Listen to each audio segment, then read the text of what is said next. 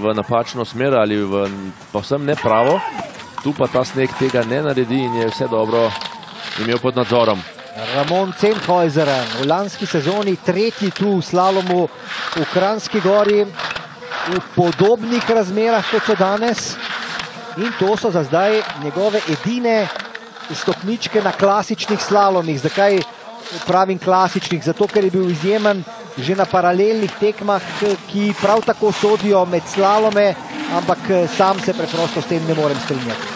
Pa težave zdaj za Cenhojzer. Povsem uh, druga slika v drugi, več tveganja, uh, več gibanja, hitreje. Tam je storil napako, vendar kljub temu, da je tako velik, da mu smoči vidijo se fenomenalno jame. Tudi tukaj dobro. Bo premagal ja, celo Felerja. O, dobro, dobro, tukaj še bolje. Da, bo, bo, bo. sekunda 23 na Felerja, najboljši čas finala. E, veliko, veliko presenečenje. Res si je dal duška in uspelo mu je. Kljub napaki je uh, uh, sebe v strmini stisnil nemogoče. Bravo. Poglejmo, kaj je bilo tule.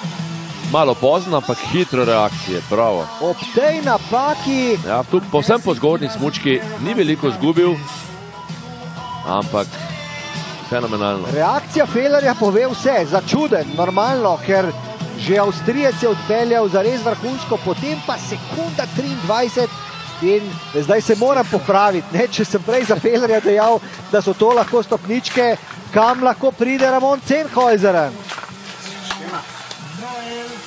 Marcel Hiršar, svetovni prvak v slalomu. Leta 2008 je tu bil tretji v tej disciplini in to so bile njegove prve stopničke v karieri Veste, kako pa je šla potem ta karijera. Vse ima na svojem smučarskem računu 137 uvrstitev na oder za zmagovalce. Podobno kot v prvi vožnji, začel sicer z nizkim eh, težiščem, prišel večkrat nazaj, imel pozne zavoje, ni uspel uh, nesti hitrost uh, seboj, jo ni zadrževal. Še vedno se mi zdi na določen način malo pregrob uh, in tudi on, kot da bi malo čakal, kaj bo storila smučka, ni vse lepo povezano, Nekajkrat kar veliki zmet iz zavoja ven. A, tukaj sicer silovito blizu, vendar uh, cen pojzori so zelo lepo tekli smoči, zelo lepo. Drugo mesto za Marcela Kiršarja.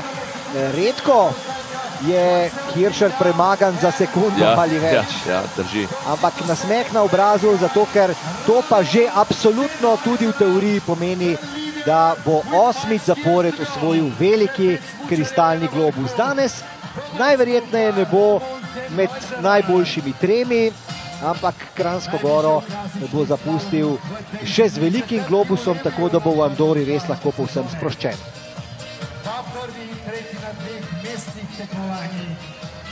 Cenhojzeren pred Hiršerjem in Felarjem. Adalin je trenutno 17. Včeraj je zmagal še v Veleslalomu. Mu bo uspel dvojček ali pa mu bo današnjo zmago preprečil Ramon Cenhojzeren. Težka naloga je pred Kristofersenom, sicer 90 prednosti, ampak poglejmo, kako se bo sedaj znašel Norvežan. V nekajkrat tesno, v vertikali že noge posem skupaj, oziroma smoči. Je dovolj predkan, zaenkrat izkorišča smočine. Bomo videli, če bo zdržal visok tempo, vse je odvisno. Tu zaenkrat, če kar v redu ampak silovit ta bo morala biti strmina. Lani je dvojček uspel v Kranski gori Hiršarju. Zdaj poskuša po njegovih smučinah ja. peljati tudi Kristofersen. V dokaj dobrem ravnotežnem položaju. Ne, ne, ne, ne, napaka. Napaka v vertikali moral je popravljati. Ni zadrževal hitrosti. Morda bo dovolj za drugo mesto. Tako, katero mesto? Počakajmo, Kristofersen je drugi. drugi. Za 200 tinki je ugnal Kiršarja, ki je tretji. Tu pa, lahko res rečem, veliki zmagov. Veliki, ja. ja. Bravo. Ramon Cenhojzer sedmega mesta je šel na prvo z najboljšim časom finala.